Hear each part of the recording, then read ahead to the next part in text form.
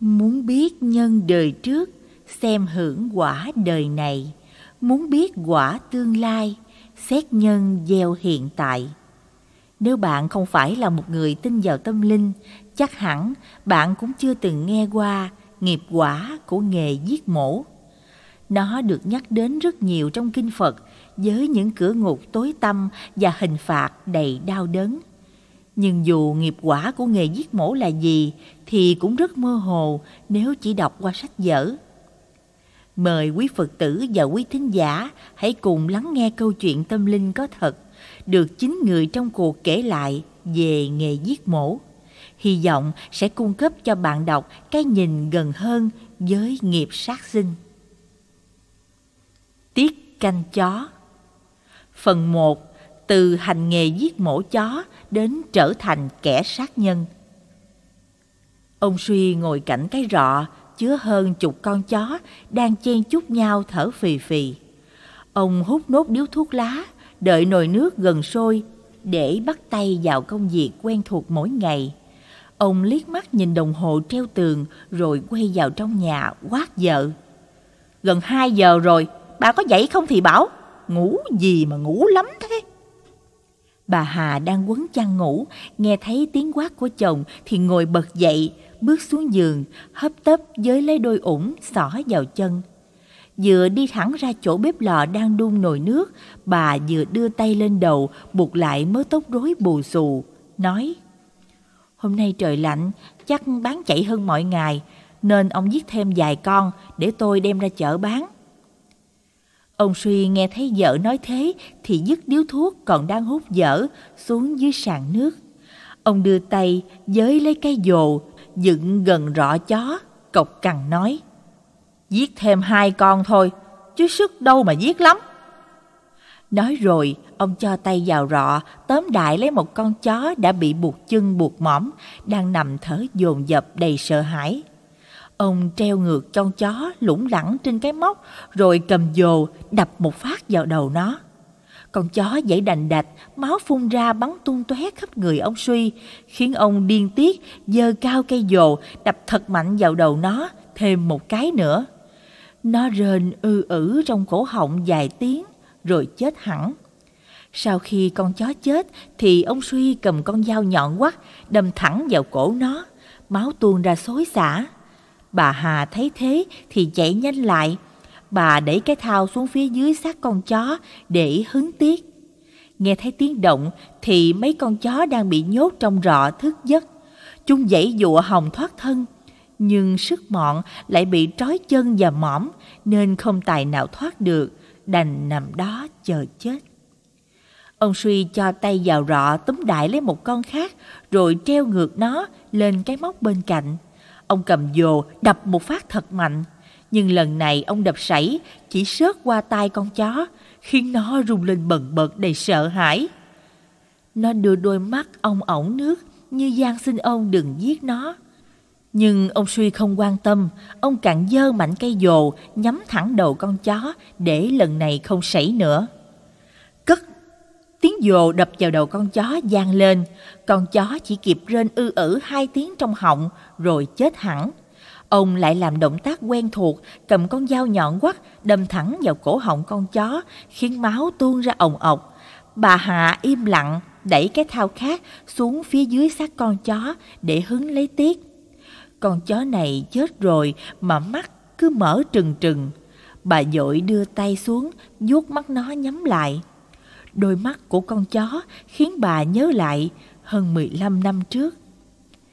Ngày ấy ông bà đói khổ lại đông con nên lúc nào trong nhà cũng thiếu cái ăn. Đầu óc thì cổ hủ, chỉ biết lao đầu dọn mấy xào ruộng. Rảnh rỗi bà đi lượm lặt ve chai, còn ông thì làm phụ hồ. Nhưng dù có cố thế nào thì cuộc sống của ông bà và năm đứa con vẫn thiếu thốn trăm bề. Khi đang túng quẩn thì ông được người quen giới thiệu cho làm việc cho một lò giết mổ. Công việc này chỉ cần làm chút buổi đêm mà mức lương lại khá hậu hĩnh nên ông nhanh chóng nhận lời. Vài năm sau, chủ lò mổ ấy giải nghệ khiến ông thất nghiệp. Ông bạn với bà gom chút vốn liếng làm lò mổ riêng. Mối thì đã có sẵn của chủ cũ để lại. Ngoài ra, ông còn giết thêm vài con để bà đem ra chợ bán. Ngày đầu mới nhìn thấy chồng giơ cái dồ lên đập vào đầu con chó khiến máu phun ra thì bà hoảng sợ lắm. Đã thế con chó chết tức tưởi, mắt không nhắm khiến bà ám ảnh cứ phải đi chùa cúng bái cầu xin cho cái nghiệp sát sinh được nhẹ bớt. Nhưng dần dà công việc ngày một ăn nên làm ra nên bà cũng chẳng còn thời gian để đi chùa nữa. Sau gần 5 năm làm nghề giết mổ, ông bà tích góp được chút tiền, mua mảnh đất khá xa với khu dân cư để làm nghề cho thuận tiện.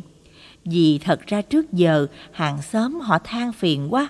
Họ than phiền vì tiếng chó sủa ong ổng cả ngày lẫn đêm, lại tanh hôi mùi máu.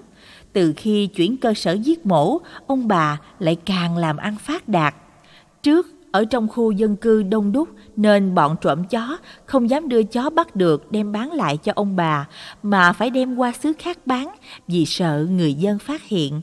Mà bọn này là dân nghiện ngập hút chích nên chỉ cần trả cho chúng nó đủ tiền mua thuốc hết qua cơn là được. Nên thành ra nhà ông bà toàn bán chó trộm cắp không rõ nguồn gốc. Cũng nhờ vậy mà ông bà phất lên thấy rõ từ khi mua đất chuyển ra ở ngoài rìa này. Bà đang mãi nghĩ dẫn dơ thì ông suy lên tiếng đưa bà về với thực tại. Con chó già này của thằng nào để lại vậy? Bà Hà nghe thấy thế thì cúi xuống sát mặt con chó đang bị treo ngược, nhìn nó rồi nhớ lại. À, con chó này của thằng Thiện Lùng. Bà thâu lại giá nhiêu? Thì ờ, uh, 43 ngàn một ký. Ông suy dạch bụng con chó lên, bóp bóp vài cái rồi nói. Lần sau gặp chó này thì trả ba chục thôi.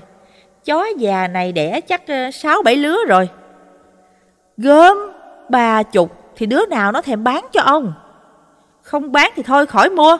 Thịt dai nhất, mua về mang tiếng à. Nói rồi, ông tiếp tục dơ cao cây dồ đập thẳng vào đầu con chó. Có lẽ con chó già rồi, nên chỉ cần đập một phát là nó chẳng kịp rên lên tiếng nào đã chết. Chưa đầy 40 phút thì hơn 20 xác chó đã nằm dài, san sát nhau trên móc. Ở dưới đất, hơn chục cái thao chứa đầy tiết cũng nằm san sát nhau. Lúc này ông Suy mới tháo chó ra, cho vào nồi nước đang sôi, rồi thoăn thoắt nhanh nhẹn, cạo lông từng con rất sạch sẽ. Sau đó ông lấy lửa ra khò cho chó vàng ươm thơm nức rồi mới mổ bụng, moi lòng ra. Công việc này đã theo ông hơn 15 năm nên mọi việc đều rất thuần thục, nhuần nhuyễn. Mới gần 3 tiếng đồng hồ mà ông và bà Hà đã làm sạch sẽ tươm tất hơn hai chục con, mà hai chục con với ông thì có xá gì. Vài năm trước, đêm nào mình ông cũng giết năm bảy chục con, có những thời điểm nhiều mối lái lên tới con số 100 hơn là đằng khác. Cái thời ấy dân trí còn thấp, không bị ảnh hưởng nhiều bởi báo đài. Nhà nhà ăn thịt chó, người người ăn thịt chó, liên quan chó, dỗ chạp cũng chó. Vậy mà bây giờ dân trí bị Tây quá, bọn Tây tuyên truyền nói chó là bạn với người, nên thành ra giờ người ta bỏ bớt cái món khoái khẩu này. Ông Suy ngồi trên bậc thềm, rút điếu thuốc lá, châm lửa hút cho ấm, thì vừa lúc thương lái rủ nhau kéo đến. Người thì hai con, người thì ba con, loáng một cái, chỉ còn lại bốn con để bà Hà đưa ra chợ bán. Ông Suy vào nhà, dắt chiếc xe máy cà tàng cũ kỹ, chuyên để đi buôn chó ra phía trước. Ông đi ra phía sau, kéo cái giỏ ở bên trong, có chứa bốn con chó đã được làm thịt sạch sẽ, để lên khoảng trống đằng trước xe, rồi quay vào nhà quát vợ. Bà nhanh nhanh cái chân lên! Bà Hà nghe thấy ông Suy nói thế thì lật đật chạy ra. Trên tay bà cầm cái nón lá với bịch lá mơ và lít mắm tôm để bán kèm cho khách. Bà khóa cửa rồi chạy nhanh ra, leo lên xe. Giờ cũng gần 6 giờ sáng, nhưng mùa đông nên trời lâu tỏ. Ngồi sau xe, từng cơn gió lạnh ùa về khiến bà co ro, tính đưa tay ôm lấy chồng cho ấm. Nhưng chồng bà là người đàn ông cộc cằn thô lỗ, cho nên nếu bà có làm vậy, chắc cũng bị ông chửi. Nghĩ thế, bà tìm câu chuyện để nói với ông. Ông có nhớ bà Hoang hay ngồi ở chân cầu ăn xin không? Bà đấy tôi còn lạ gì? Hôm qua, bà ấy đang ngồi ở chân cầu ăn xin như mọi ngày, thì có con chó ở đâu lao vào cắn bà ấy. Khổ thân, già cả, người lại co rút, lại đúng bằng con chó chứ chẳng hơn. Con chó nó khỏe, nó lôi bà ấy đi cả chục mét mới chịu nhả ra. Lúc ấy trời cũng tầm trưa trưa rồi mà chẳng có ai đưa bà ấy đi diện. Cứ để mặt bà ấy nằm giữa đường. Một hồi sau thằng Lượm nó chạy đến chở bà ấy đi. Ông Suy nghe thấy ngắt lời. Thằng Lượm trộm chó đó hả? Nó chứ ai, nó chở bà ấy đi bệnh viện. Mà bà Hoang này khổ thật, chẳng biết người ở xứ nào, đến đây ngồi dạ vật ăn xin mấy năm nay.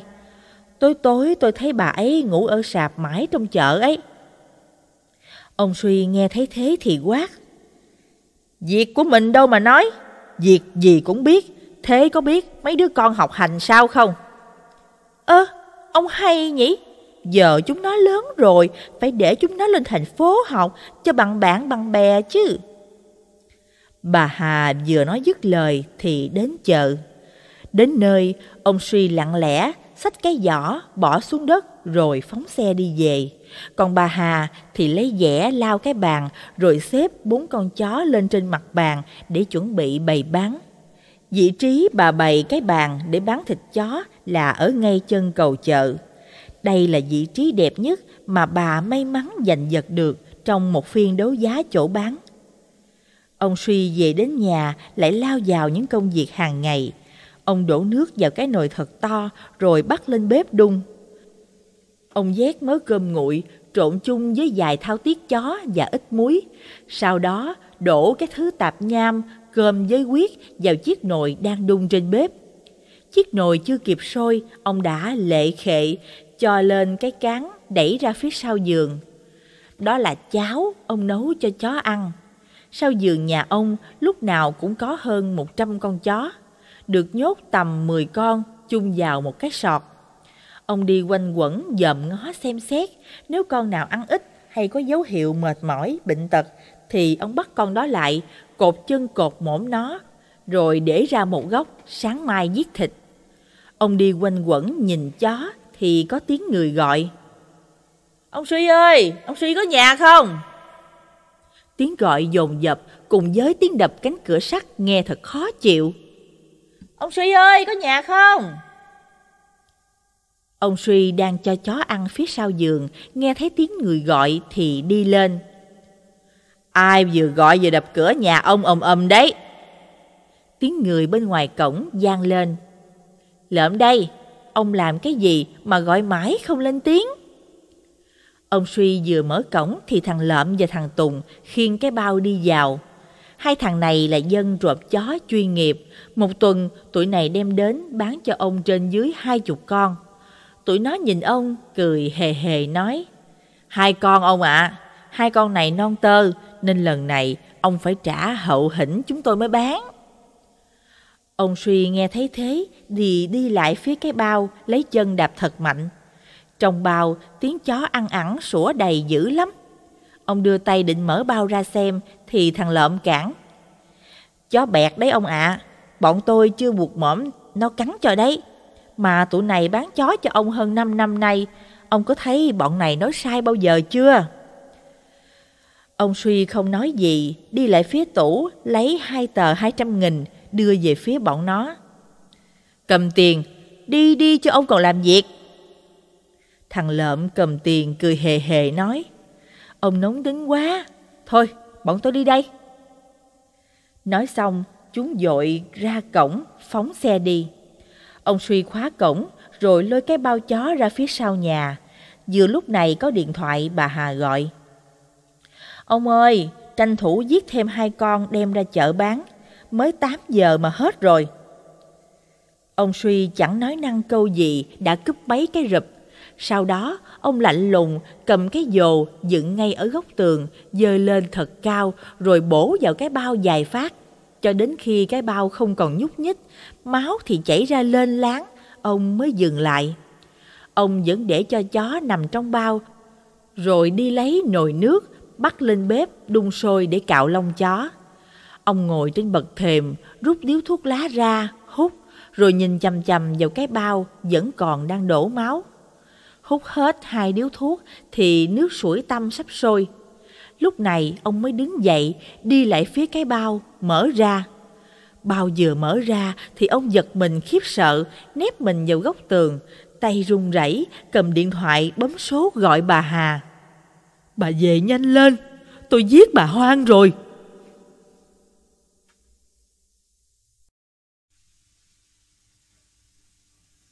Tiết canh chó Phần 2 Hành động mang rợ Ông Suy run rẩy ngồi gục mặt xuống hai gối sợ hãi. Đúng là ông giết chó không nhẹ tay, nhưng giết người thì ông chưa bao giờ dám tưởng tượng tới. Ông dò đầu bứt tai, sâu chuỗi lại toàn bộ quá trình khiến bà quan đã chết nằm kia mà lại là nằm ngay trong sân nhà ông. Ông cầm điện thoại gọi cho thằng lợm vài ba lần nhưng không liên lạc được. Ông đi lại phía cái bao dính đầy máu, máu chó rồi cả máu người, trộn vào nhau, chẳng thể nào phân biệt nổi nữa. Máu vẫn đang ồ ồ chảy ra, lên láng trên sàn nước.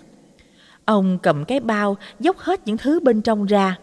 Mặc dù đã nhìn trước rằng trong bao là bà Hoang và con chó bẹt, nhưng nhìn kỹ hơn, ông vẫn run rẩy khiếp sợ. Bà Hoang bị buộc tay chân và bịt miệng bằng những miếng băng keo màu đen. Trên người và trên mặt đầy rẫy những vết răng chó cắn bậy. Tại nơi những vết cắn ấy, máu vẫn rỉ ra từng hồi. Đã thế, chiếc dồ vô tình của ông cũng đập gần nát cái hộp sọ của bà Hoang. Sức ép khủng khiếp từ những cú đập ấy khiến cho con người của bà Hoang như sắp bắn ra khỏi hốc mắt. Đôi mắt đỏ ngầu những tia máu nhìn chằm chằm vào ông, khiến ông kinh vía giật lùi ra sau, ngã nhào vào xác con chó bẹt. Vừa lúc này thì bà Hà về tới. Khi nhìn thấy cảnh tượng ấy, bà rú lên. Ôi ông ơi, chết người thật rồi ông ơi! Ông suy nhìn thấy vợ lúc này mới hoàng hồn quát. Bà bé bé cái mồm thôi. Bà Hà nghe thấy thế thì ngó ngang ngó dọc xem có ai quanh quẩn ở cạnh nhà bà không. Lúc này bà mới hạ giọng, nói nhỏ lại nhưng vẫn đầy thẳng thốt. Sao lại ra nông nổi này ông ơi? Đi báo công an đi ông. Báo công an rồi đi tù mọt gông à? Nhưng sao bà Hoang lại nằm ở đây? Chẳng phải hồi trưa thằng Lợm nó đưa bà Hoang đi viện rồi sao? Câu hỏi vừa đặt ra thì bà Hà lại tự ngộ ra điều gì. Bà lấy tay dội bịt miệng mình lại, bất ngờ rú lên. Lẽ nào? Ôi trời ơi thằng lợm, sao nó, nó lại làm ra cái trò giết người như thế? Bà Hà đi lại phía xác bà Hoang và con chó. Bà cầm xác con chó, dứt xuống cái hầm, nơi mà nhà bà hay xả máu và lông chó vào đó. Cái hầm hôi thối, toàn dồi bọ. Bà quay lại nơi xác bà Hoang đang nằm đó, chấp hai tay vào nhau, lại mấy cái lẩm bẩm. Bà tha cho tụi con, lỗi này không phải bọn con cố ý, bà tha cho tụi con. Nói rồi, bà Hà quay lại hỏi ông Suy. Giờ tính sao hả ông? Công an không báo, vậy vậy phải sao hả ông? Ông Suy im lặng rất lâu, lúc này ông mới lên tiếng. Chuyện này chỉ có tôi, bà, thằng Lợm, thằng Tùng biết. Nếu không ai nói ra thì chẳng ai biết bà Hoang này sống chết ra làm sao. Giờ thì bà nghe tôi dặn, bà cứ ra chợ bán như chưa từng có chuyện gì xảy ra. Còn lại để tôi lo. Giờ bà vào nhà, chạy xe ra chợ bán cho hết đi rồi về. Bà Hà nghe thấy thế thì lên tiếng. Còn gì đâu mà bán, sáng mới mở hàng đã có hai cậu thanh niên đến mua ba con về làm đám rồi. Vậy bây giờ ông tính sao? Nói tôi biết, chứ mình ông thì làm được gì? Ông suy quạo quọ. Phi tan chứ tính sao? Ông phi tan kiểu nào? Ông suy nghe thấy thế thì lạnh lùng đi thẳng lại chỗ bà Hoang đang nằm co quắp. Ông kéo xác của bà ném xuống cái hầm nơi mà bà Hà vợ ông mới ném xác con chó xuống.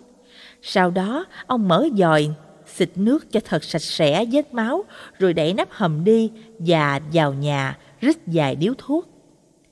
Bà Hà thấy chồng làm thế thì kinh hãi lắm. Bà chạy le te theo ông nói Ông ơi, làm vậy coi sao được. Ông tính cách khác đi. Ông suy rít điếu thuốc, nhả khói đặt quánh mù mịt lên không trung, nói Cứ tạm để đó đã, rồi tính sao? Bà Hà im lặng, bà thừa biết cách làm của chồng mình tàn ác quá. Nhưng suy đi tính lại thì làm gì còn cách nào khác. Vì thật ra, người ra kẻ vào nhà bà cũng chẳng ít. Người thì đến chuột lại chó bị bắt, người thì đến bán chó, người thì đến dặn mối lái, đủ cả.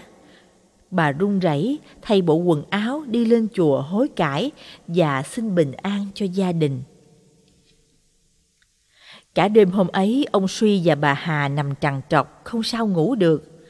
Hình ảnh co quắp, bị trói chặt của bà Quang, với thân hình đầy máu cùng cái sọ bị nứt gần như làm đôi và con ngươi lòi ra đỏ ao với những tia máu cứ hiện về trong tưởng tượng. Vừa lúc đó thì đồng hồ điểm một giờ đêm. Để che đậy những tội ác mà mình đã gây ra thì buộc ông phải diễn như không có chuyện gì xảy ra. Ông Suy ngồi dậy dục vợ. Dậy! Bà Hà nằm đó, chỉ trực đợi chồng lên tiếng thì ngồi bật dậy. Bà vẫn làm động tác quen thuộc, đưa tay lên, dán mái tóc rối bù xù, buộc lại thành tó, rồi run rẩy lên tiếng. Tôi sợ quá ông ạ, à, tôi không ngủ được tí nào cả. Ông suy tính cái gì thì tính, nhưng để xác của bà Hoang nằm dưới đó thì tội chết. Hay mình chôn bà ấy sau giường, chỗ mấy con chó? Đã gọi là phi tan, tức là cho bà ấy biến mất trên cõi đời này luôn. Chứ mày chôn bà ấy ở sau giường, thì khác gì, lạy ông còn đã giết người ạ. À? Bà Hà nghe chồng nói thế thì trong đầu vốn đã rối bời lại càng rối bời hơn. Bà chẳng biết nên hỏi chồng câu gì để giải tỏa thắc mắc cho mình. Bà lên tiếng. Ý ông là sao? Ông Suy nghe vợ hỏi thế thì điên tiết chửi. Hỏi gì mà hỏi lắm, tôi đã bảo để tôi tính. Nói xong, cả ông và bà đồng loạt mở cửa đi ra phía sân. Cái cảm giác lạnh run người vào đêm mùa đông ùa tới tấp khiến bà Hà co rút người lại. Bà hấp tấp chạy lại phía bếp lò nhóm lửa. Bà vừa nhóm lửa vừa nhìn vào cái nắp hầm nơi chứa xác bà hoang ở đó mà run rẩy lẩm bẩm trong miệng. Bà tha cho nhà con, nhà con không có ý giết bà. Bà sống khôn thác thiên, bà hiểu cho bọn con. Nói rồi bà Hà tiếp tục tìm mấy cái thao, bắt đầu phụ chồng hứng tiết chó. Khi mọi thứ đã xong xuôi thì bà đi lại phía nồi nước mở ra để nhúng chó cạo lông. Bà Hà vừa mở dung ra thì dội vàng ném cái dung xuống đất. Bà ngồi thụp dưới sàn nước, ú ớ hét lên. Ôi mẹ ơi, bà Hoang! Ông Suy đang đứng cạnh mấy cái xác chó treo lủng lẳng, nhìn thấy vợ như thế thì chạy lại. Gì vậy? Bà Hà không dám nhìn lên cái nồi, bà vẫn ngồi bờ xuống dưới sàn nước, nơi mà máu chó vẫn còn tanh nồng lên láng ở đó. Bà run rẩy đưa tay chỉ vào nồi nước. Bà Hoang, bà Hoang đang ở trong nồi nước. Ông Suy nhìn vào nồi nước đang sôi sùng sục thì điên tiết lắm. Ông kéo bà Hạ đứng dậy, dí đầu bà về phía nồi nước đang sôi, nói Bà nhìn cho kỹ đi, có cái gì đâu. Lúc này bà Hà mới dám mở mắt nhìn vào nồi nước. Rõ ràng lúc nãy khi mở dung ra, bà thấy bà Hoang đang cuộn tròn nằm trong đó. Đôi mắt bà Hoang mở trừng trừng, ấy vậy mà giờ nhìn lại thì bà Hà chẳng thấy gì ở đó nữa. Lúc này ông Suy lên tiếng chửi. Đúng là nhìn gà hóa cuốc. Bà Hà vẫn còn kinh hãi với hình ảnh hồi nãy nhìn thấy, nhưng nghe tiếng chửi quen thuộc của chồng lại khiến bà trấn tĩnh tinh thần.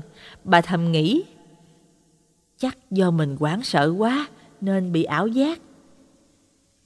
Trời xế trưa, bà Hà đang đứng mời gọi khách mua nốt miếng thịt chó để tranh thủ về nhà ngủ, thì thằng Lợm xuất hiện. Mới nhìn thấy hắn, mọi người đã thi nhau hỏi han. Bà Quang sao rồi mày? Thằng Lợm cười hề hề, chỉ tay về phía bà Hà, nói. Hỏi bà Hà thì rõ, bà Hà hôm qua đến thăm bà Hoang đấy. Nghe thằng Lợm nói thế thì mọi người quay qua nhìn bà Hà chờ đợi câu trả lời. Bà Hà quảng hốt bối rối, không phát ra tiếng, chỉ ú ớ lắc đầu. Lúc này thằng Lợm lạ lắm, hắn như phát hiện ra điều gì không đúng ở đây.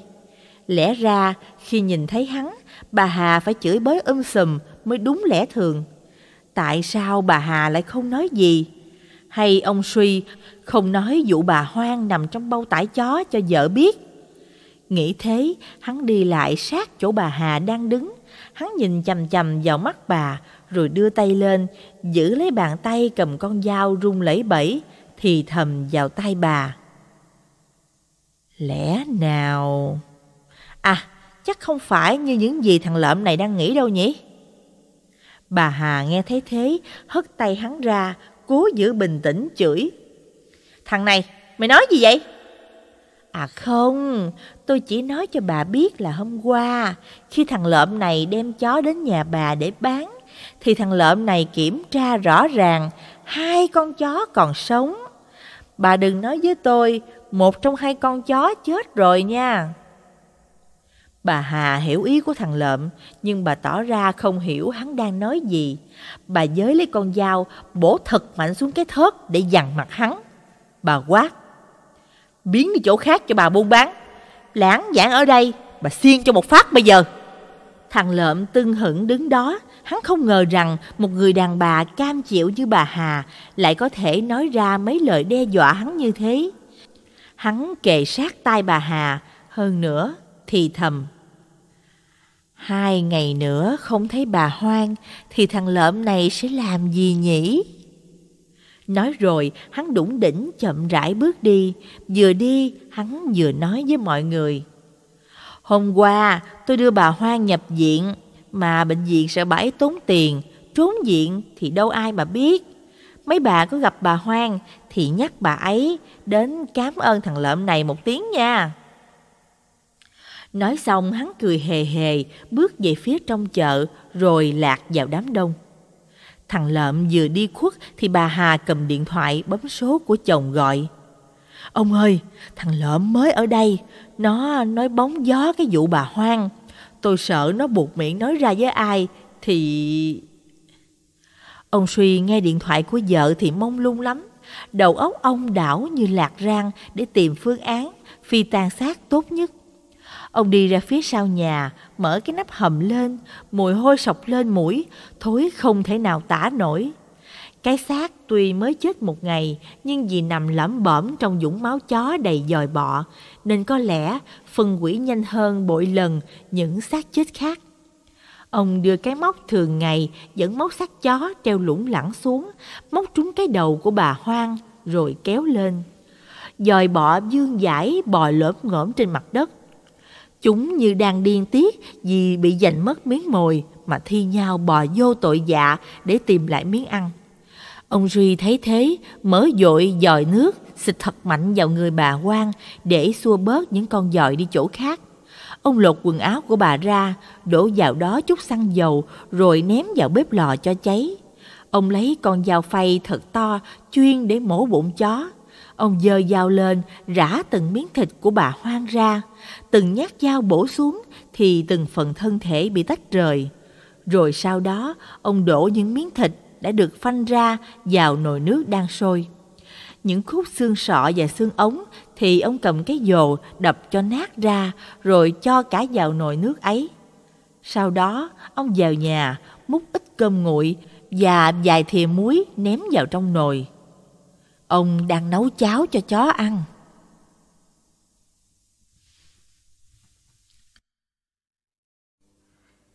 Tiết canh chó Phần 3 Bóng ma trở về Ông Suy đốt thuốc, rít liên tù tì gần chục điếu, ngồi đợi cho nồi cháo thật sôi.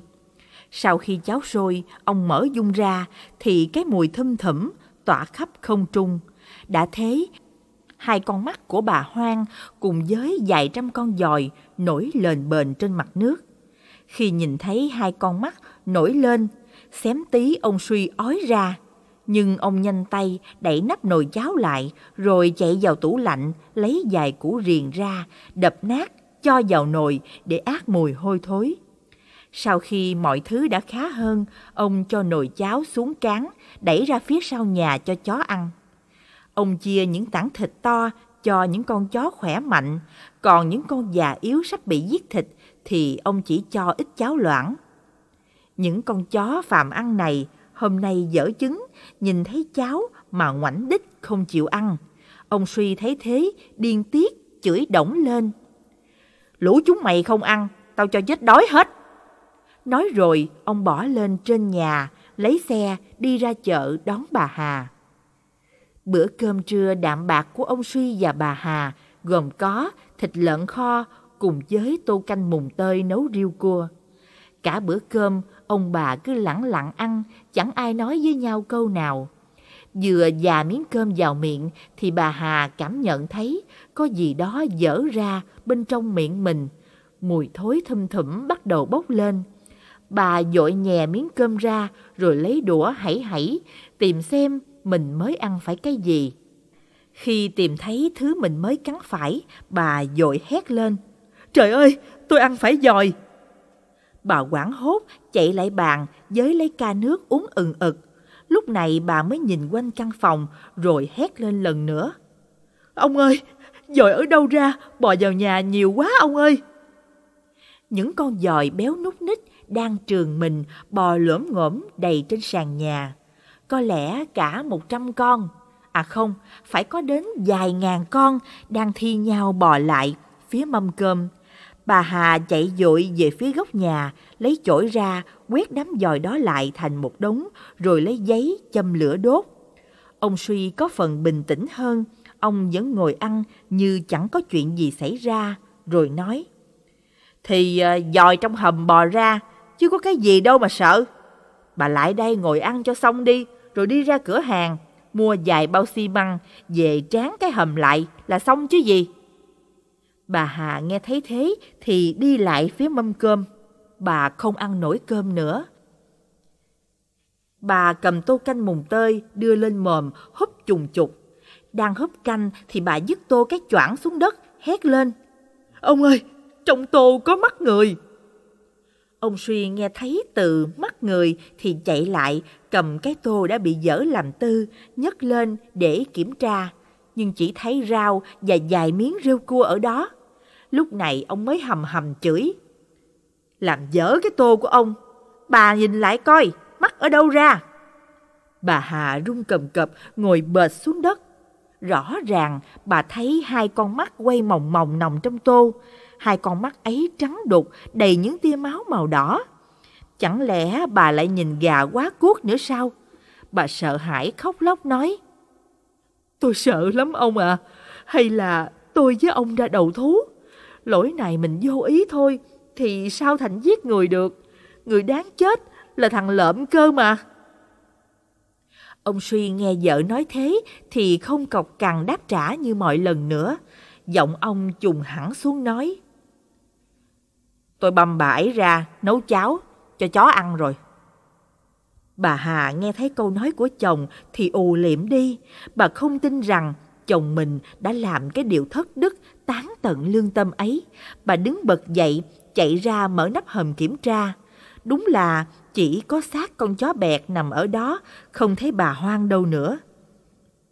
Bà chạy dội ra giường, nơi nhốt cả một trăm con chó để kiểm chứng lời ông Suy nói – bà đi từng củi nhòm vào những cái tô đầy um cháo có mùi thối nồng nặc đến mức chó cũng không chịu ăn. Bà đi đến gần cái củi cuối cùng thì nhìn thấy con mắt nổi lên bền trong tô giống y hệt con mắt trong tô canh mùng tơi lúc nãy thì bà mới tin những gì chồng mình nói là thật. Bà nôn thốc nôn tháo những gì mới ăn được ra ngoài rồi nằm giật ra gần củi chó. Lúc này bà mới chấp tay giái lại tứ phương vừa khóc lóc miệng vừa lẩm bẩm. A-di-đà Phật, A-di-đà Phật.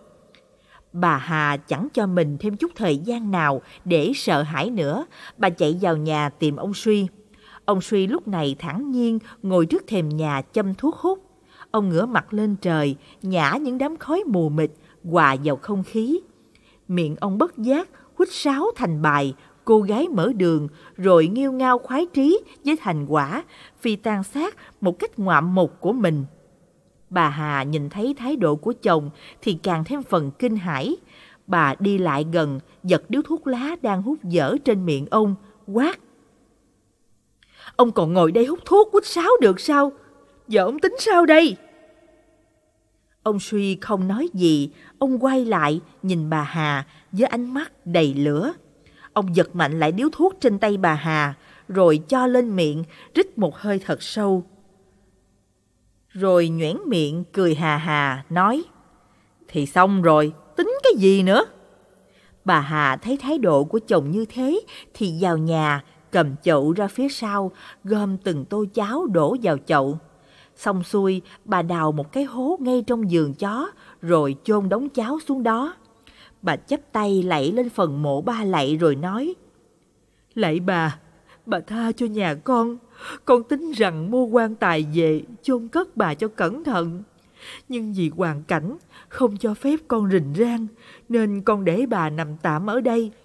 Khi mọi chuyện đã ổn, con xin hứa làm ma chay cho bà cẩn thận. Nói rồi, bà Hà vào nhà thay bộ quần áo đi chùa cúng bái, cầu xin bình an cho gia đình. Gần 6 giờ tối bà Hà mới về đến nhà. Bà nhìn thấy ông Suy đang cắm cúi gần sàn nước, trộn xi măng để lấp cái hầm. Giận ông, bà chẳng thèm nói năng câu gì, đi thẳng vào giường, đặt lưng xuống ngủ. Vì thật ra từ đêm qua đến giờ, bà có chợp mắt được tí nào đâu. Đêm đông gió lạnh rít cuộn trào bên ngoài. Đã thế, cơn mưa bất chợt ở đâu xối xả đổ xuống mái tôn, nghe thật yên giấc. Bà đưa tay quờ quanh giường, tìm chăn đắp lên cho ấm. Mới tìm thấy chăn thì chẳng biết nước ở đâu nhỏ tông tông vào mặt bà. Trong cơn mê man nửa tỉnh nửa mê, bà đưa tay quệt đám nước đi.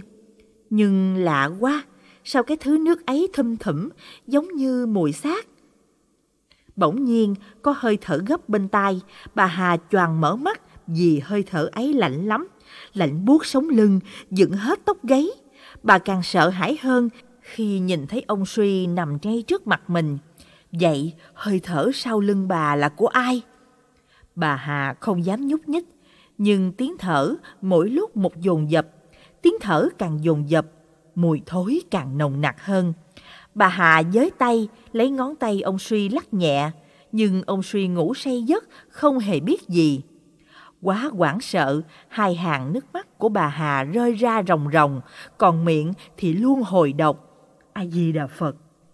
Nhưng tiếng thở gấp bên tai không hề dừng lại, bà Hà lấy hết can đảm, định ngồi bật dậy kiểm tra thì có bàn tay ai đó nắm chặt lấy vai bà, không cho bà nhúc nhích. Đồng thời tiếng nói vọng lên. Chúng mày trả mạng cho tao. Bà Hà choàng ngồi bật dậy hét ầm ĩ. Cút đi, cút đi. Ông Suy đang ngủ say thì bị đánh thức bởi tiếng hét của vợ. Ông ngồi bật dậy, quát. Bà có để cho tôi ngủ không? Bà Hà dội xuống giường, chạy lại phía công tắc, đèn bật lên. Bà vừa chỉ tay về phía hồi nãy, mình nằm vừa hốt quảng nói. Ông ơi, có ma, ma mới nhát tôi. Ông Suy vốn là người vô thần, nghe thấy ma quỷ thì ông càng điên tiết chửi. Bà nhìn cho rõ đi, mộng mị đái cả ra, chứ ma gì ở đây? Lúc này bà Hà mới nhìn lại chỗ mình nằm, nước ở đâu ướt sũng cả một bên giường. Bà đi lại, đưa tay sờ lên vết ướt đó, rồi đưa lên mũi ngửi. Đó không phải mùi nước đái, mà là mùi xác thối đang phân quỷ. Bên trên đống nước nhôm nhớp ấy còn có vài con dòi đang thi nhau giấy đành đạch. Bà Hà hét lên. Là bà Hoang, bà Hoang về đòi mạng ông ơi! Vừa lúc đó thì đồng hồ báo thức một giờ đêm. Tiếng chuông báo thức ấy như tiếng gọi cơm áo gạo tiền đưa bà Hà về với thực tại. Bà và cả ông Suy cùng nhau tất bật chuẩn bị công việc thường ngày, bắt đầu bước qua một ngày mới. Với những bộn bề cuộc sống ấy đã giúp bà Hà dời bớt đi phần nào nỗi sợ ma mị mà bà mới gặp phải. Sáng tinh mơ, bà Hà còn chưa kịp mở hàng thì thằng Lợm đã cười hề hề đi tới. Chào người đẹp. Bà Hà trao mày khó chịu chửi. Mới sáng sớm chưa mở hàng, biến đi, cho bà còn làm ăn. Thằng Lợm nghe thấy bà Hà nói thế thì tỏ vẻ khó chịu ra mặt. Nó đập tay xuống mặt bàn một cái thật mạnh rồi quát lên. Vợ chồng mày thách thức tao đúng không? Nói rồi nó quay sang hàng thịt lợn bên cạnh gọi. Cô thơi thịt lợn ơi, cô có muốn nghe một bí mật to đùng về bà Hoang không nhỉ? Nghe thằng Lợm nói thế, bà Hà dội hạ giọng. Mày cần gì thì ờ, tới nhà tao nói chuyện, chứ đừng đứng ở đường xá thế này không có tiện. Thằng Lợm nghe thấy vậy thì nhẹ giọng nói. Đấy, nói vậy có phải đẹp gái hơn không? Thôi thì đêm nay thằng Lợm này đến nói chuyện với ông bà vậy. Ông bà đợi Lợm rồi hãy ngủ nha. Nói rồi, thằng Lợm xỏ hai tay vào túi quần, đủng đỉnh bước đi. Bà Hà chẳng còn tâm trí nào mà buôn bán nổi nữa. Bà đi đi lại lại trong gian hàng bé tí, bẻ ngón tay kêu tành tạch, suy nghĩ về việc của thằng Lợm. Bà chưa dám nói chuyện hồi sáng, gặp thằng Lợm ra cho ông suy nghe vì bà biết rằng chồng mình là người nóng tính. Lỡ may ông suy điên lên đi tìm thằng Lợm nói chuyện thì lộ hết mọi sự.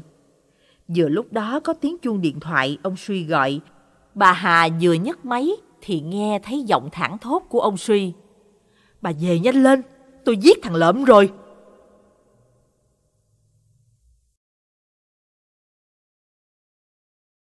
Tiết canh chó, phần 4, mạng nối mạng.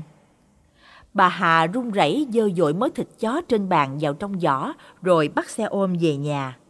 Về phần ông Suy, sau khi gọi điện cho bà Hà, thì ông ngồi gục xuống mép tường, lắc đầu ngoài nguội, chẳng hiểu được rằng vì cớ gì mà lại ra cơ sự như thế này.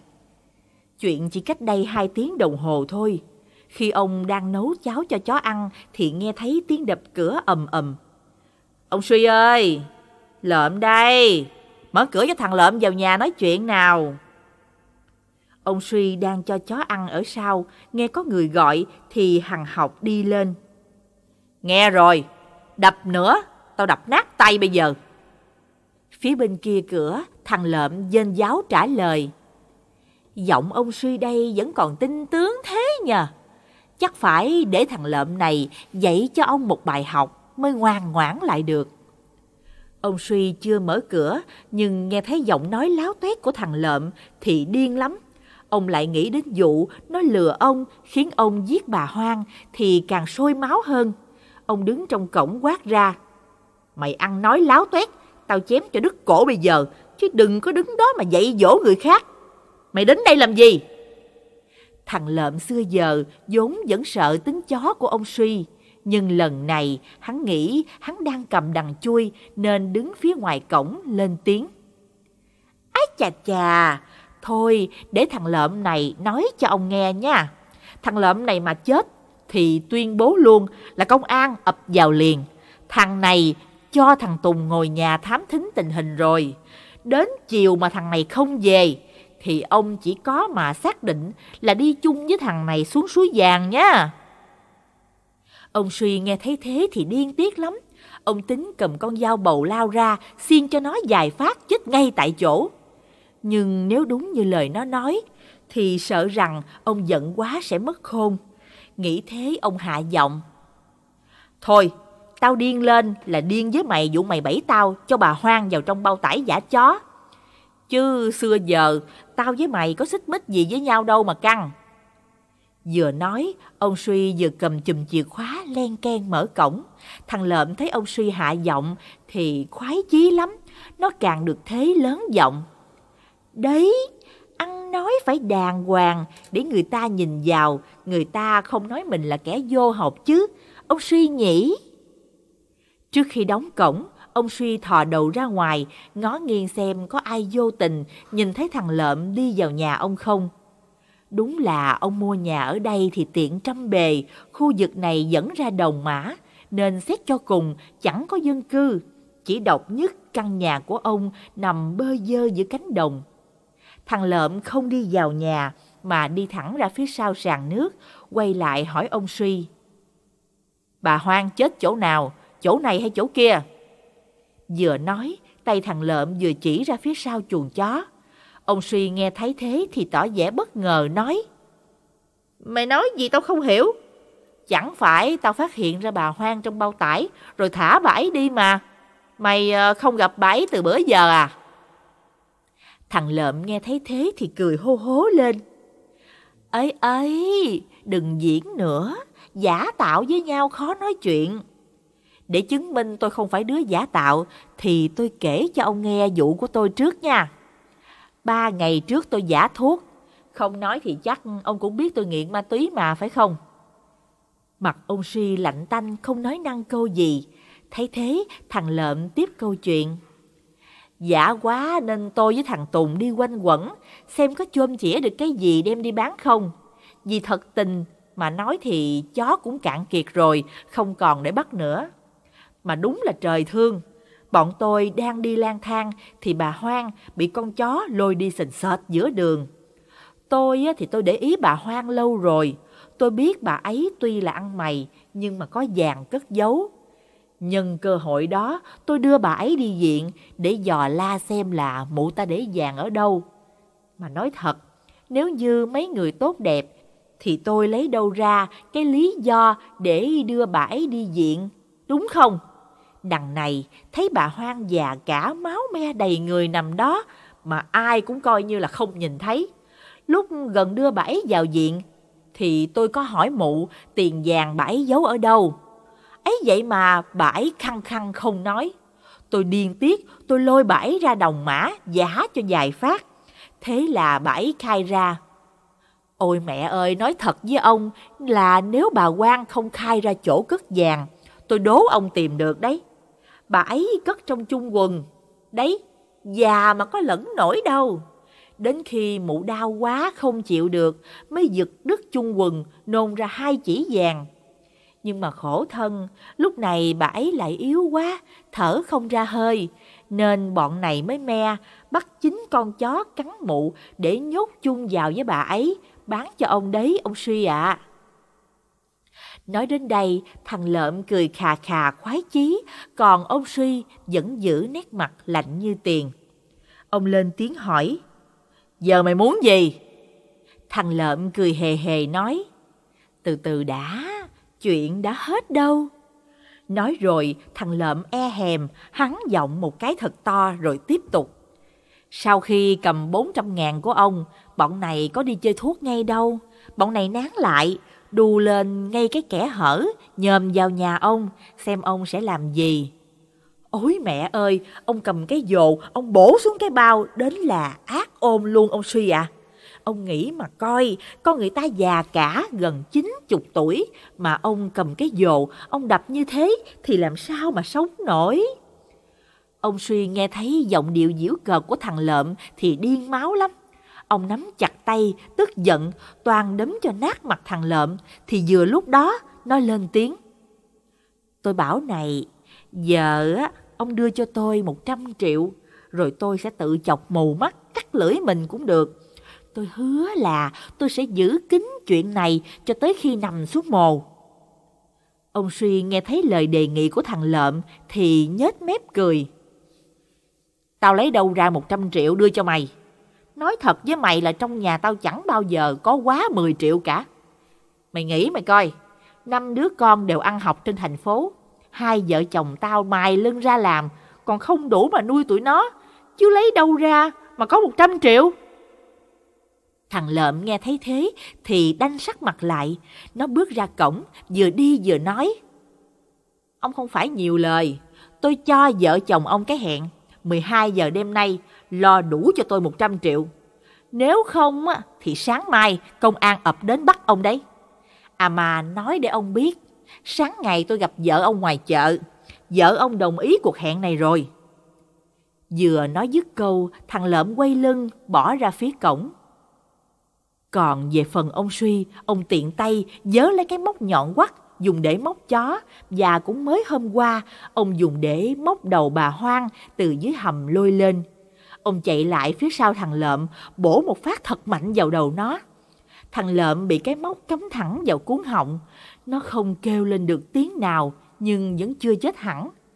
Ông suy thấy thằng lợm chưa chết, ông say máu, lôi nó lại phía sàn nước, treo ngược nó lên trên cái dàn móc treo chó. Ông cầm cái dồ bổ vào đầu thằng lợm ba phát, khiến máu bắn tung tóe, dương dãi khắp nơi. Ông suy không dừng bản thân mình lại được, ông cầm con dao bầu chọc thẳng vào cuốn họng thằng lợm. Sau đó, ông đá cái thao xuống phía dưới xác nó để hứng tiếc. Thằng lợm chết rồi, chết y như một con chó.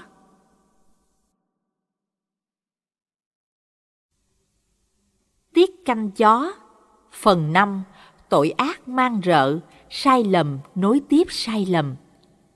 Bà Hà về đến nhà, Nhìn thấy xác thằng lợm chết, Lủng lẳng như con chó, Thì ngồi bệt xuống dũng nước hồi đêm qua, Mưa vẫn còn động lại. Bà quay lại hỏi ông Suy Bằng cái giọng Chỉ to hơn tiếng thì thầm một chút.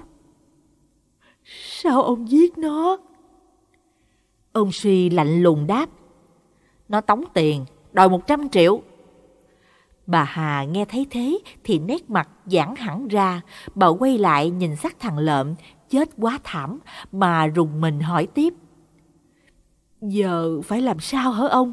Bà quan thì còn giấu được chứ thằng lợm sao mà giấu? Cái này là giết người đấy ông ạ. À.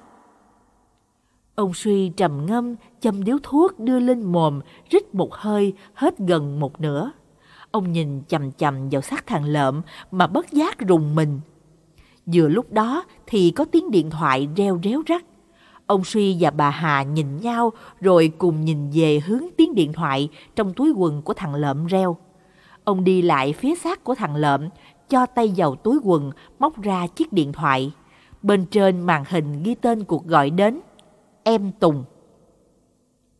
Ông Suy hoảng sợ đánh rơi chiếc điện thoại xuống đất, khiến chiếc điện thoại dở ra thành ba mảnh. Ông quay lại nói với bà Hà. Là thằng Tùng, nó biết thằng Lợm đang ở đây. Nó cũng biết tôi giết bà Hoang. Nghe thấy ông Suy nói thế thì bà Hà sợ lắm. Bà đưa ánh mắt thâm quần, hốt quảng thốt lên. Trời ơi, còn thằng Tùng nữa, thì, thì phải làm sao? Đầu óc ông Suy lúc này quay cuồng lắm. Ông không biết rằng mình nên và sẽ phải làm gì cho mọi thứ ổn thỏa. Ông đi lại phía bà Hà, ngồi xuống, đặt tay lên bàn tay đang run rẩy của bà Hà và nói Bà ra đóng cổng đi, đừng cho ai vào nhà. Tôi phi tan xác thằng lợm. Bà Hà nghe thấy thế thì nằm xoài ra đất. Bà đưa ánh mắt liếc nhìn xác thằng lợm đang bị treo lủng lẳng hỏi.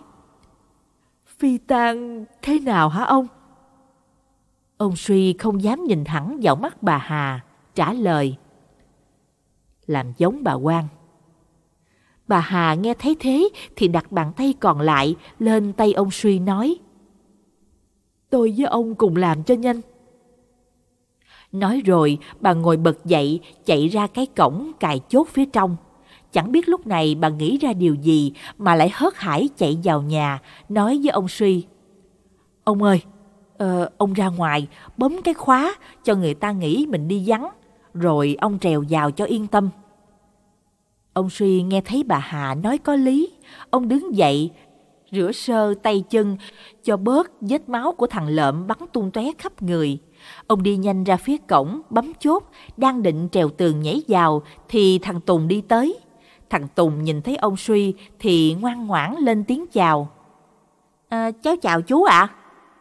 Ông Suy nghe thấy tiếng thằng Tùng thì có phần thất hồn. Ông hắn giọng lấy lại nét bình tĩnh trả lời. Chào cháu. Thằng Tùng vốn là người có học hành cao, nhưng vì lỡ bước đi vào con đường nghiện ngập mà bám lấy thằng lợm để kiếm thuốc chơi qua ngày. Thằng Tùng nhìn ông suy từ đầu tới chân thì buộc miệng hỏi. Ờ, chú mới giết chó hay sao mà người chú máu không vậy chú? Ông suy nghe câu hỏi bất ngờ thì cười xuề xòa. Ừ, chú mới ờ, giết thêm hai con đem cho mối. Mà cháu đến đây có việc gì không? Thằng Tùng nhanh nhảo đáp. Dạ, à, cháu đến tìm anh Lợm. Anh ấy nói với cháu, anh ấy ờ, tới nhà chú có chút việc. Ông Suy nghe thấy vậy thì tỏ vẻ bất ngờ hỏi lại. Thằng Lợm đến tìm chú à? Sáng giờ chú lu bu giết chó, đem đi bỏ mối, rồi ngồi lại nhà ông bạn uống vài chén, giờ mới về. Về đến đây lại không tìm thấy chìa khóa vào nhà. Thằng Tùng nghe thấy vậy thì sinh nghi. Ông Suy nói đi giao chó mà sao không thấy xe ở đây. Thấy thế nó dặn lại. Chú đi giao chó mà chú không đi xe à? Đầu óc ông Suy đảo thật nhanh tìm phương án. Ông cười hề hề. Thì đấy, uống có vài chén mà ông bạn của chú nhất nhất không cho chú đi xe về.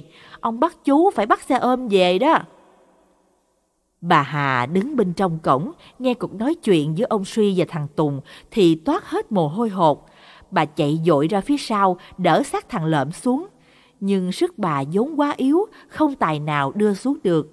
Bà dội vàng cầm con dao phay, dơ lên thật cao, chặt vào mắt cá chân của thằng lợm để cho cái xác rơi xuống. Lúc này bà mới nhìn kỹ, mắt thằng lợm mở trừng trừng. Đã thế, cái đầu của nó chịu ba cú dồ của ông suy bổ vào thì gần như nát bét. Bà hoảng sợ, ngồi bật dậy, tránh xa ánh mắt trừng trừng của thằng lợm. Lúc này thì ông suy đi vào. Ông nhìn thấy xác thằng lợm đã được bà Hà đưa xuống thì bất ngờ lắm. Nhưng thời gian không cho phép ông làm bất cứ gì khác lúc này. Ông quay về phía bà Hà, nói Cầm hết đồ nghề làm thịt chó ra đây. Bà Hà đi lại góc bếp, lấy bốn con dao và một thanh sắt dùng để mài dao ra cho chồng. Bà lanh lẹ ngồi xuống, phụ chồng cởi quần áo trên người thằng lợm ra, rồi ném vào chiếc bếp lò, lúc nào cũng rừng rực lửa. Bà đi lại phía chiếc điện thoại của thằng lợm hồi nãy, ông suy đánh rơi.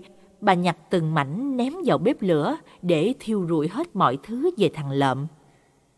Ông suy thì thản nhiên ngồi mài bốn con dao cho thật sắc.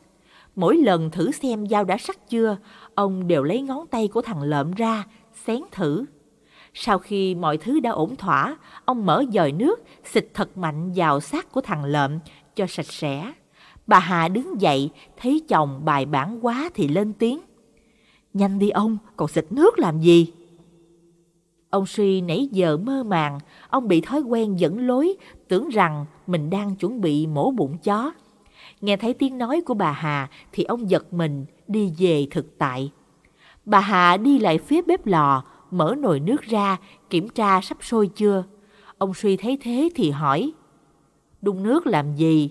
Nó có bị thối ra như bà hoang đâu mà nấu cháo. Băm nó ra, ném sống cho bọn chó ăn cho nhanh. Bà Hà nghe thấy thế thì đi lại phía góc tường, cầm cái dồ lại sàn nước rửa sơ qua. Sau đó bà đi ra phía sau nhà, ném đại vào trong chuồng chó, xem chó có ăn không. Mấy con chó đang nằm trong củi thở hổn hển, thấy miếng mồi thơm ngon ném vào thì tranh giành nhau cắn xé. Bà Hà thấy thế thì tươi tỉnh ra mặt, bà đi lại phía ông Suy đang hùng hục, gồi róc đến đoạn xương sườn nói Bọn chó ăn ông ạ. À. Ông Suy nghe thấy thế thì càng nhanh tay hơn, ông cầm con dao phay bổ thật mạnh xuống đùi thằng lợm. Chưa đầy 5 phút, hai cái đùi đã được rã ra thành bốn khúc, từ háng xuống đến gối, từ gối xuống đến mắt cá chân. Sau đó ông lấy con dao nhọn quắt, róc thịt ra thịt, xương ra xương. Phần thịt ông bỏ vào máy, xay ra cho thật nhuyễn, còn phần xương ông lấy dồ đập cho thật nát. Bà Hà ngồi phía sàn nước, nhìn chầm chầm vào bàn tay lanh lẹ của ông Suy thì nổi hết gai ốc. Bỗng nhiên, miếng tủy trong xương chịu sức ép khủng khiếp từ cú dồ của ông Suy thì phọt ra, bắn thẳng vào mắt bà Hà.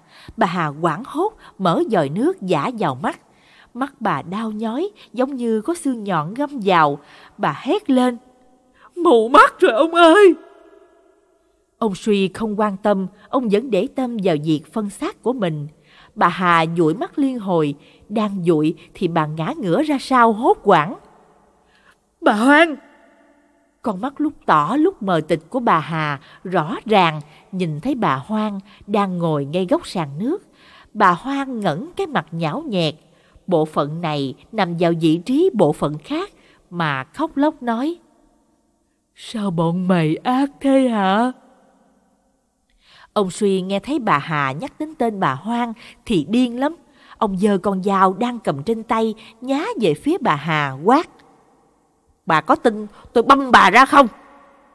Nói rồi, ông Suy cúi xuống, bổ thật mạnh vào cổ thằng lợm, khiến cái đầu rơi ra, lăn vào chân bà Hà. Bà Hà hoảng loạn, đá vào cái đầu thật mạnh, khiến cái đầu lăn long lóc trên sân. Ông Suy đứng dậy, cầm mớ tóc, nhấc cái đầu lên. Ông lạnh lùng, để cái đầu xuống sàn sân, rồi dơ cao cái dồ lên bổ xuống. Sau gần hai tiếng, thì phần thịt đã được xay nhuyễn, phần xương đã được đập nát ra. Ông Suy và bà Hà cùng nhau dắt xe đẩy ra phía sau nhà.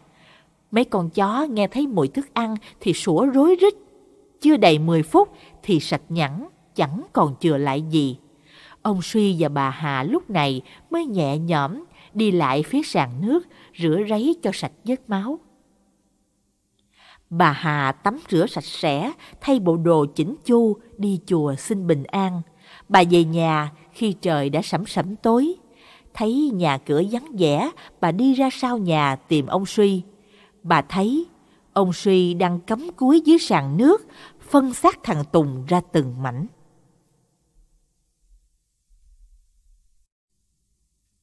Tiết canh chó phần 6 Nỗi ám ảnh kinh hoàng Bà hốt quảng bước nhanh lại phía sàn nước, rú lên hỏi.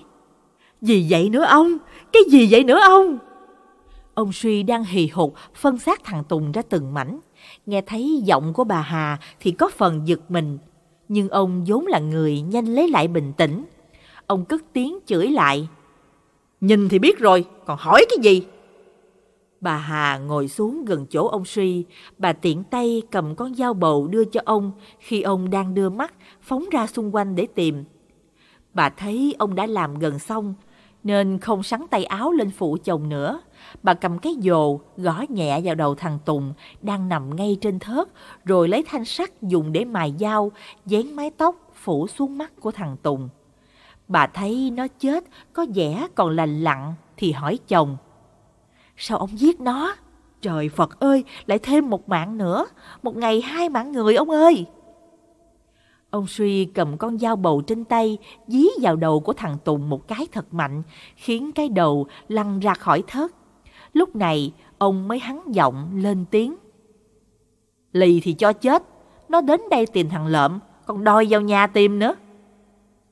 Bà Hà nghe thấy thế thì có phần sửng sốt nói. Thì ông cứ cho nó vào nhà tìm, không thấy thằng lợm thì nó đi, chứ sao phải giết nó.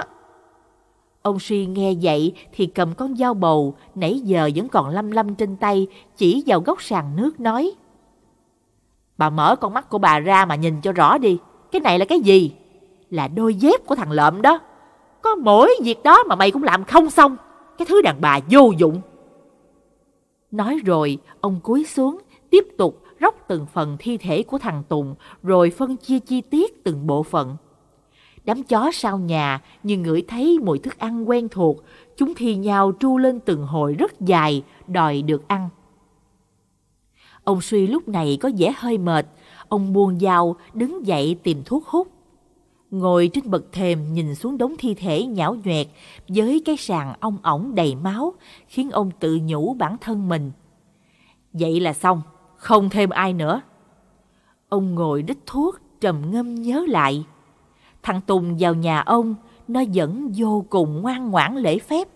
Sau khi nó nhìn thấy đôi dép của thằng lợm, ánh mắt nó lóe lên đầy nghi ngờ. Nhưng nó vốn là người có học thức, không bao giờ nó bộc trực, nói ra điều gì nguy hiểm đến bản thân.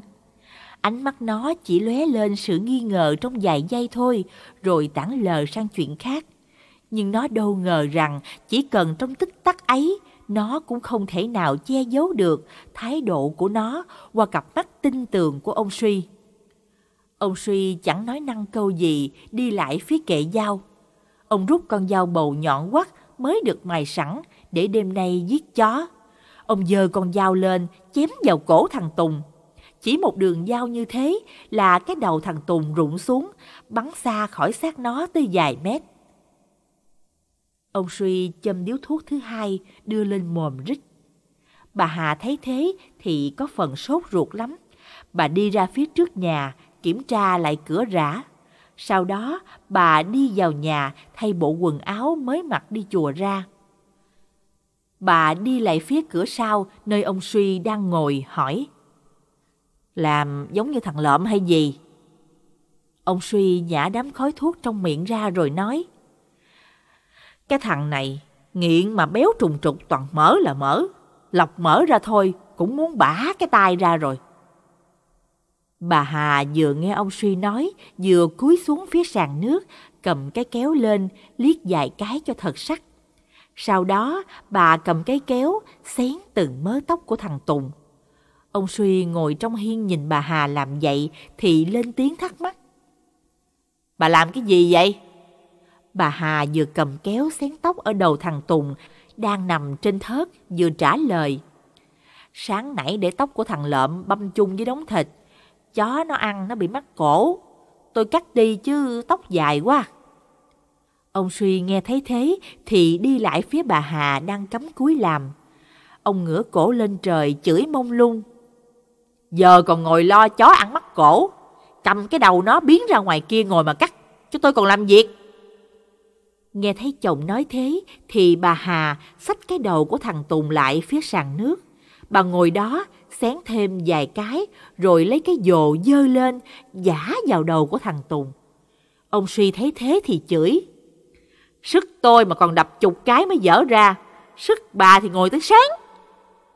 Bà Hà thấy thế thì có vẻ giận dỗi, bà quăng cái đầu lại phía cái thớt, nghe bịch một cái, làm máu bắn lên mặt ông Suy.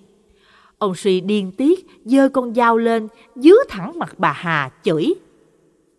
Bà có tin tôi băm bà ra như băm nó không? Bà Hà nghe thấy thế thì hạ ánh mắt xuống. Bà đi lại phía máy xay, cắm điện kiểm tra xem thử cái máy xay còn hoạt động không. Sau đó bà lại gần chỗ ông Suy ngồi xem có thể giúp ông được gì. Ông Suy lúc này đang cầm cái dồ bổ xuống đầu của thằng Tùng. Nhưng vì cái đầu tròn long lóc lại bị cạo hết tóc nên không còn ma sát nữa. Ông vừa bổ cái dồ xuống thì cái đầu bay đi bắn thẳng vào cánh cửa nghe ầm một cái. Bà Hà thấy thế thì chạy nhanh lại cánh cửa nhặt lấy cái đầu ra cho chồng. Cái đầu của thằng Tùng móp méo không còn nguyên vẹn nữa. Sống mũi thì đập thẳng vào cánh cửa, dẹo hẳn sang một bên. Đã thế hai con mắt của thằng Tùng khi chết không nhắm, lại chịu sức ép khủng khiếp từ cú da chạm mà dở nát ra một bên. Ông Suy cầm cái đầu nhớp nháp thì điên tiết chửi. Cạo hết tóc đi thì giờ sao mà giả ra được? Bà Hà nghe thấy câu nói của chồng thì nhoẻn miệng cười. Bà không ngờ rằng chồng mình già đầu mà suy nghĩ chẳng tới đâu. Bà nói, ông cầm con dao bổ cái đầu ra làm hai làm ba rồi hãy đập thì có mà mười cái cũng đập nát chứ nói gì một cái.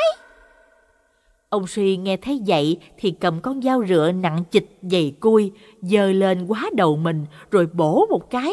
Đầu ra làm bốn phần, khiến óc của thằng Tùng phọt ra, bắn lên mép của ông Suy. Bà Hà thấy thế thì hơi hãi, nên rửa ráy tay chân, đi vào trong nhà, mở bịch bún riêu mới mua lúc đi chùa về ra ăn. Cái mùi mắm tôm thâm thủm trong bún riêu khiến bà liên tưởng tới tô cháo dòi thịt bà hoang. Nghĩ thế, bà đứng lên bỏ mứa, không ăn nữa. Bà đi lên giường, dắt tay lên trán, suy nghĩ về những điều khủng khiếp mà mới vài ngày nay bà và chồng gặp phải. Rồi mệt quá, bà ngủ thiếp đi. Trong cơn mê man nửa tỉnh nửa mê, bà thấy mình lạnh run cầm cập. Đã thế, mùi lông chó ở đâu phà vào mũi khiến bà không tài nào thở được. Tai bà lại như đang nghe thấy tiếng ai thì thầm to nhỏ. Bà choàng mở mắt thức giấc. Vừa mở mắt là bà giật mình kinh hãi khiếp sợ khi nhìn thấy thằng Lợm và thằng Tùng đang ngồi ngay trên đầu giường cạnh chỗ ông Suy.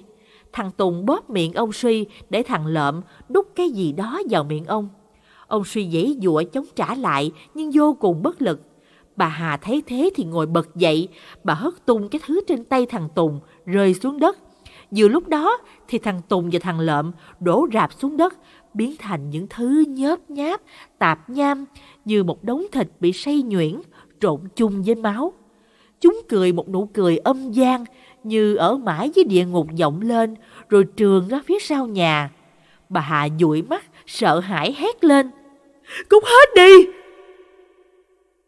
Dưới ánh đèn hiên mờ tỏ chiếu lại, bà chồm người dậy, nhòm xuống đất để xem chúng nó đã đút cho ông Suy ăn cái gì. Bà quảng hồn khi thấy đó là tô cháo, lởm chởm toàn dòi là dòi, đã bị dở tan ra, với hai con mắt người như đang di chuyển xung quanh những miếng sành dở. Đã thế, ngay trong dũng nước lỏng bỏng, bà còn thấy miếng da đầu dính đầy tóc màu bạc đang nằm bủn beo ngay đó. Bà quảng hốt khi nhận ra đó là tô cháo thịt bà hoang. Bà Toan hét lên gọi chồng thì giật mình tỉnh giấc. Bà thấy ông Suy đang nằm quay lưng về phía mình ngủ ngon lành, thì nhẹ nhõm nói thầm trong lòng. May quá, thì ra là mình nằm mơ. Nói rồi, bà ngồi dậy bước xuống giường, đi lại phía nhà vệ sinh. Bà bị đau bụng nên ngồi đó khá lâu. Vừa lúc đó, tiếng chuông đồng hồ báo thức một giờ đêm. Bà cố gắng đi thật nhanh để không bị ông Suy chửi bới. Nhưng khi bà quay lại giường thì thấy ông Suy vẫn còn đang ngủ. Bà lấy làm lạ vì bà biết tánh chồng mình. Nghe thấy tiếng chuông báo thức lúc một giờ đêm thì không bao giờ ông ngủ mê mệt như vậy. Bà cúi sát xuống gọi ông dậy nhưng bà gọi hai ba lần không thấy ông nhúc nhích. Lúc này bà mới chạy lại bật công tắc đèn lên. Đèn vừa sáng thì bà hốt quảng hét lên. Ông ơi, ông bị cái gì thế này? Mặt ông Suy đỏ như gất, ú ớ không nói nên lời. Ông cố gắng đưa cánh tay ra hiệu cho bà Hà đỡ ông ngồi dậy. Ông vừa ngồi dậy thì nôn thốc nôn tháo ra. Bà Hà thấy thế thì chạy nhanh lại phía bàn, rót cho chồng cốc nước. Khi bà quay lại, thấy những thứ ông Suy vừa nôn ra thì thất thanh hét lên. Trời ơi, không phải là mơ! Nói rồi, bà sợ hãi, nhảy tót lên giường, vừa khóc vừa tụng kinh. A-di-đà Phật, A-di-đà Phật. Ông Suy thì có vẻ lì hơn, ông đứng phất dậy, bật hết tất cả bóng đèn trong nhà, rồi đi quanh quẩn tìm mọi ngóc ngách, xem đứa nào mới chơi trò hù dọa ông. Ông vừa điên cuồng tìm, vừa hét lên. Thằng nào dọa ông thì bước ra đây. Ông băm chúng mày ra cho chó ăn hết. Bà Hà vẫn đang ngồi trên giường, run rẩy sợ hãi tụng kinh. Vừa lúc đó thì tất cả bóng đèn trong nhà dục tắt. Mọi thứ trở nên tối đen như mực. Bà Hà sợ hãi, gọi. Ông ơi, ông ơi, sao tối thế? Vừa lúc đó, bà cảm nhận cánh tay của ai đang bám lấy vai bà. Có tiếng nghiến răng ken két bên tai. Bà sợ hãi, không dám nhúc nhích, miệng tụng kinh to hơn. A-di-đà Phật, A-di-đà Phật. Rồi bà như cảm nhận thấy có ai đang lè lưỡi liếm lỗ tai của bà. Bà sợ hãi dùng giấy chạy xuống giường đi ra phía sau nhà. Vừa lúc đó thì đèn sáng, bà Hà thấy ông Suy đang cầm con dao nhọn quắt đứng ở giữa sân. Bà chạy lại phía ông gọi Ông ơi, mình đi khỏi đây thôi. Ông Suy vừa thấy bà Hà thì cầm con dao xiên thẳng vào cuốn họng của bà. Bà Hà đưa ánh mắt đầy quảng hốt, nhìn ông Suy rồi giật giật lên mấy cái, thì chết. Trước khi chết, bạn nghe thấy giọng ông Suy nói, Con mụ hoang này, tao giết mày rồi, sao mày chưa chết?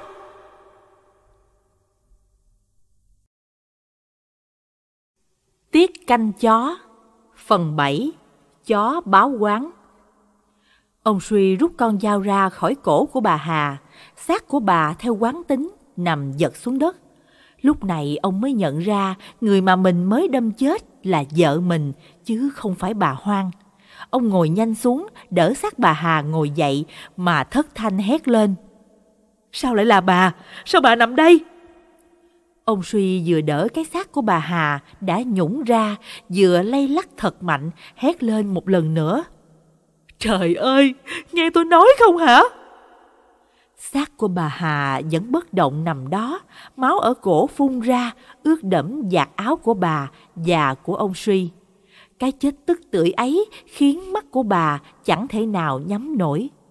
Lúc này đồng hồ báo thức điểm 1 giờ 30 phút đêm.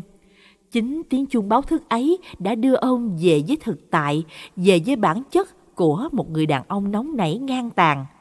Ông đứng dậy, giác xác bà Hà ra sau giường, cạnh mấy cái chuồng chó. Sau đó, ông đẩy xác bà bằng cái bao tải màu trắng xám, rồi đứng lên, đi vào phía trong nhà, chuẩn bị công việc hàng ngày. Ông treo con chó lên trên móc rồi dơ cái dồ lên cao, định rằng sẽ làm một phát thật mạnh vào đầu con chó. Nhưng bỗng nhiên, con chó nhìn ông, nhoẻn miệng cười. Nó cười giọng điệu của một con người, khiến ông sợ hãi, ngồi bệt xuống đất, bò người lùi vào mãi trong mé tường. Con chó cười mỗi lúc mỗi to hơn, lúc thì như biến thành bà hoang, lúc thì như thằng lợm, khi lại biến thành thằng Tùng. Ông suy sợ hãi ôm đầu hét lên. Tại chúng mày hết, vì chúng mày hết. Nói rồi, ông say máu, đứng bật dậy hét lên một tiếng. Chết hết đi! Rồi ông dơ cái dồ đập vào đầu con chó, cất một cái thật mạnh, khiến máu phun ra. Lúc này ông cầm con dao lại gần con chó để chọc tiết. Nhưng vừa cắm con dao vào cổ nó thì con chó biến thành bà Hà vợ ông. Bà Hà đưa ánh mắt ông ổng nước nói Sao ông giết cả vợ mình vậy hả ông Suy? Ông Suy hoảng sợ rút con dao ra rồi ôm ghì lấy con chó khóc. Không phải tại tôi, không phải tôi giết bà. Ông Suy đứng đó ôm sát con chó dài ba giây, lắc đầu ngoài ngoại. Rồi ông chợt nhận ra mình đang ôm sát con chó chứ không phải vợ mình. Ông điên tiết treo một lúc hơn chục con chó lên trên móc. Những con chó sợ hãi dễ dụa càng khiến ông điên tiết hơn. Ông giơ cao cây dồ đập liên hoàn vào đầu những con chó mà hét lên. Là chó không phải là người, chúng mày định dọa ông hả? Ông Suy chỉ dừng lại khi máu chó bắn phọt hết lên người ông, bắn cả vào mắt ông, khiến mắt ông cay xè. Ông đứng dậy, hùng hục làm tiếp theo quán tính và thói quen, không để những ảo giác đeo bám ông nữa. Ông nhúng chó vào nồi nước sôi rồi lấy, khò ra cho chó vàng ươm. Lúc này ông quên mất rằng vợ mình đã chết. Ông quay sang nói, Bà, mang đồ nghề lại đây cho tôi. Rồi ông chẳng thèm nhìn lấy một cái, chỉ giơ tay ra đón lấy những gì vợ mình đưa cho ông. Nhưng lần này thì khác, ông giơ tay lên đợi dao hơn cả phút mà không thấy vợ đưa lại cho mình. Lúc này ông mới chưng hửng nhận ra vợ mình đã chết rồi. Ông tự đứng dậy đi lại kệ, rút con dao nhọn quắt. Ông đi lại phía con chó đã được thui vàng ươm, cắm con dao vào lòng ngực con chó. Đầu óc ông lúc này đầy ma mị lắm, chẳng thể nào nghĩ nổi việc gì nữa. Ông đang mổ bụng chó thì nghe thấy tiếng nói bên tai. Dơ dao lên cổ, đưa dao lên cổ nào. Ông suy nghe theo, ông dơ con dao lên cổ mình, lúc này tiếng nói lại tiếp tục gian lên. Cắt cổ mày đi, cắt thật mạnh vào, nhanh lên. Ông suy dơ con dao lên, lấy đà ra xa để cắm con dao vào cổ mình. Vừa lúc đó có tiếng người ngoài cổng gian lên. Chị Hà ơi, có chó chưa? Câu nói vừa dứt thì ông suy tỉnh lại, ông kinh hãi giật mình ném con dao xuống đất. Ông không hiểu nổi tại sao ông lại cầm con dao kề lên cổ của chính mình. Ông đang hoang mang tột cùng thì tiếng nói ngoài cổng lại gian lên. Anh Suy ơi, có chó chưa? Ông Suy đứng bật dậy, chạy nhanh ra ngoài cổng, mở cửa nói. À, sao hôm nay tới sớm vậy? mới thui thôi chứ chưa kịp mổ bụng. Sớm gì đâu anh, hơn 5 giờ rồi còn gì. Ông Suy lúc này mới ngó mắt vào trong nhà nhìn đồng hồ. Đúng là hơn 5 giờ thật, ông đưa tay xuống thoang thoát mổ bụng chó. Bà hàng mối ngồi nhìn ông làm thì hỏi. Chị Hà đâu anh? Sao hôm nay anh làm một mình vậy? Ông Suy ngẩng mặt lên, tay vừa cầm dao cắm vào bụng chó vừa trả lời. À, chị đi Hà Nội chơi với mấy đứa rồi. Chúng nó bận học không có thời gian về quê, nên à, đâm ra bảy nhớ con. Sau khi mối lái đã tới lấy hết chó, ông Suy dội vàng thay quần áo, lấy xe đảo ra chợ một vòng. Một phần ông muốn ra đó để nếu có ai hỏi gì về vợ ông thì ông sẵn tiện lấy đại ra lý do nào đó để người ta không thắc mắc về sự vắng mặt của bà Hà trong buổi phiên chợ. Phần khác, ông muốn ra đó nghe ngóng tình hình của bà Hoang, của thằng Lợm, thằng Tùng coi thế nào. Quả nhiên đúng như dự đoán của ông, ông đang đứng ngay dưới chân cầu, hì hụt giữa chống xe để mua mấy quả trứng vịt lộn về ăn, thì bà Thơm hàng thịt lên tiếng hỏi. Bác Suy ơi, ừ, sao bác Hà hôm nay nghỉ chợ thế ạ? Ông Suy vẫn giữ nét mặt cao có như mọi khi, quay lại trả lời. Bà ấy nói nhớ con, nên ờ, đòi đi Hà Nội thăm mấy đứa. Bà Thơm nghe thấy thế thì cười nói, Khiếp, đi vậy chắc ông nhớ bà ấy chết mất nhỉ? Bà Thơm vừa nói dứt câu thì mấy người bạn hàng cười rố lên với nhau.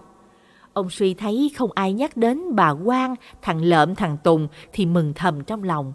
Ông xách ba quả trứng vịt lộn về, dứt bừa vào góc bếp rồi đi ra phía sau nhà. Ông mở cổng chuồng chó, đi lại gần chỗ xác bà Hà, rồi lật cái bao tải màu trắng xám đang đậy trên xác của bà ra. Bà Hà đã chết nằm đó với ánh mắt vô hồn mở trừng trừng.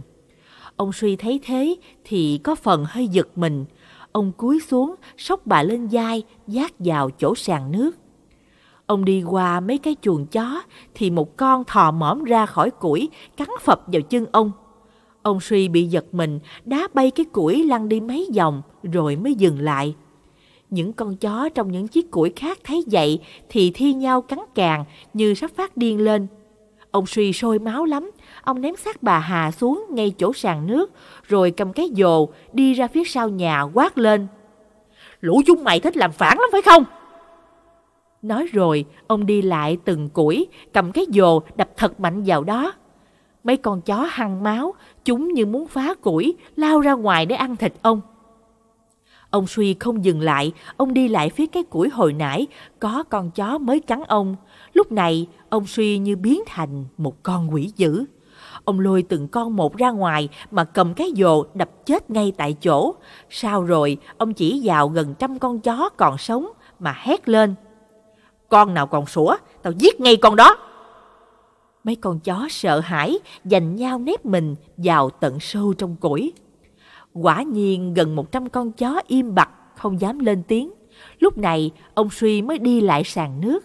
Ông lật xác bà Hà nằm ngửa lên, rồi cởi quần áo của bà ra. Vừa lúc này, ngoài cổng có tiếng gọi. Anh Suy, chị Hà, có nhà không? Ông Suy nghe thấy tiếng gọi ngoài cổng vọng vào thì giật mình luống cuốn. Ông giác xác của bà Hà ra, ném ngay ra giường, chỗ mấy chuồng chó, rồi khóa cổng phía sau, đi lên đằng trước. Ông vừa mở cổng nhà vừa hỏi. Ai đấy? Em Trình đây, Trình, công an xã đây. Ông Suy nghe thấy từ công an xã thì có phần giật mình. Đầu óc ông lúc này rối bời lắm, vì thật ra ông chẳng bao giờ giao lưu với mấy người này cả. Họ đến đây làm gì? Lẽ nào bị lộ rồi sao? Ông Suy rung giọng hỏi. Ờ, có, có chuyện gì thế công an xã? Dạ, em có chút việc đến nhờ anh. Ông Suy toát hết mồ hôi hột, ông run rẩy mở khóa cổng. Khi mở cổng, ông thấy có một mình cậu Trình lại không mặc quân phục thì nhẹ giọng nói. Mời cậu vào nhà uống nước. Cậu Trình không khách sáo, cậu ta vừa ngồi xuống bàn là đi thẳng ngay vào vấn đề. Dạ, chẳng là em có chuyện này em nhờ anh giúp. Nhà em có nuôi hai con chó cảnh anh à. mà chó nuôi đã sống chung gần chục năm rồi nên nhà em quý lắm. Bỗng nhiên hồi đêm qua bị bọn trộm chó bắt mất cả hai con. Nhà em ai cũng đau buồn quá nên thành ra em phải đi tìm. Mà tính ra trong xã mình á, thì chỉ có ba lò mổ chó. Hai lò kia em tới kiểm tra rồi. Không có anh ạ. À. Ờ, còn có lò nhà anh thôi. Anh cho em tìm lại chó. Tìm được á, em đền bù anh gấp 5 gấp 10 lần con chó cũng được anh à. Ông Suy nghe thấy thế thì càng hoang mang hơn vì xác của bà Hà ông ném ngay ở cửa cổng. Chỉ cần mở cửa ra là nhìn thấy bà ấy nằm ngay ở đó. Ông Suy đang tay vào nhau rối bời tìm cách để cậu Trình không đòi ra phía sau tìm chó. Ông nói, Chú uh, tả hai con chó cho tôi xem có không nào. Cậu Trình nghe thấy thế thì nhiệt tình tả. Dạ, uh, một con là chó giống nhật, lông màu xám tro, nặng chỉ khoảng uh, 9-10 kg thôi. Con còn lại là giống chó lai với chó Phú Quốc, có lông tam thể, nặng cỡ uh, 15-16 kg anh à. Ông Suy nghe thấy thế thì trầm ngâm nhớ lại rồi vỗ tay vào đùi cái đét, khiến cậu Trình mừng rỡ ra mặt. Cậu ta hớn hở hỏi, Có hả anh? May quá anh ơi!